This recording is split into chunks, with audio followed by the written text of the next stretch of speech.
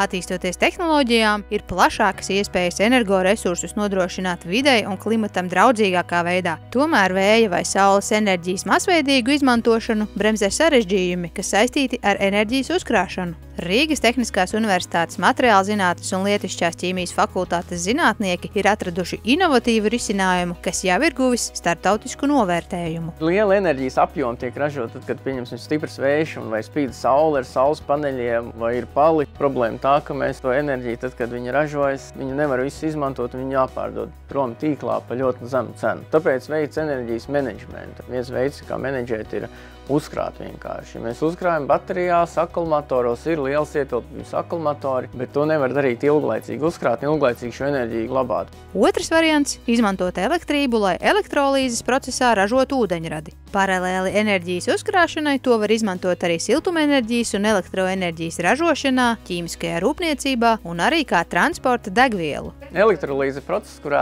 ar elektrisko strāvu tiek šķelts ūdens, skābeklī un ūdeņradī. Galvenais trūkums ir nu, elektrolīzei kā tādai tas, ka izveidojas sprādzienu bīstam gāžu maisījums, Komerciālos elektrolīzeros gāzu atdalīšanai izmanto membrānas un spiedienu regulējošas ierīces. Tās ir ļoti dārgas, turklāt pazemina procesa efektivitāti. Pēdējos desmit gados jau cirkulē zinātniskajā literatūrā idejas, kad varētu atsaistīt uh, ūdens šķelšanas procesu telpā, lai šīs gāzes izdalās atsevišķi viena no otras, nevis vienā elektrolīzerā, kur ir atdalītas ar membrānu. 70. gadā Nature Materials tika nopublicēts atsaistīts elektrolīzes koncepts, kur ir uh, atsevišķi divi vannas, kuras savienotas gan ar darba elektrodiem, pie kuriem izdalās gāzes, gan arī ar palīgi elektrodiem, kurā tad vienā šis jons difundētu vannā, Eh, tajā palīga elektrodā un otra palīga elektroda otrā vannā, viņš atkal izdalītos un nonāktu pie otra elektroda, kur izdalītos atkal gāze. Un katrā vannā viņas var stāvēt viena Rīgā, otra Liepājā,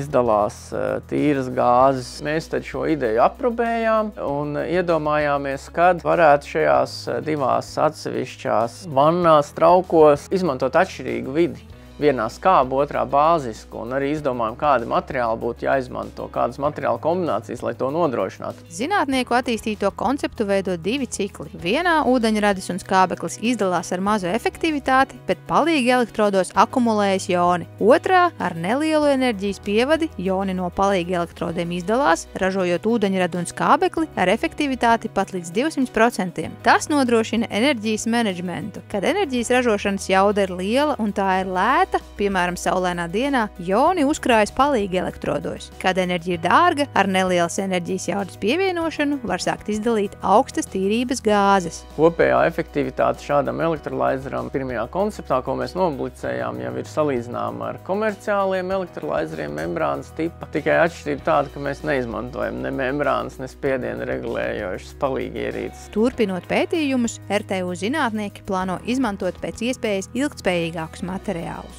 Mēs esam šobrīd realizējuši viņu uz um, platīnu darba elektrodiem un uh, Wolfram trioksīdu un niķeļa hidroksīda palīgi elektrodiem. Uh, noteikti vajadzētu virzīties uz kādiem ilgspējīgākiem materiāliem, ogles katalizatoriem un palīgi elektrodiem, vai arī pat varam aizvietot uh, darba elektrodus ar fotoelektrodiem, kas ļautu vēl šo procesu intensificēt efektivitāti uzaudzē dēļ tā, ka mēs gaismas enerģiju izmantojam. RTU zinātnieku pētījums publicēts starptautiskā zinātniskā žurnālā ar augstu ietekmes faktoru. Tas apliecina darba novitāti un nozīmību.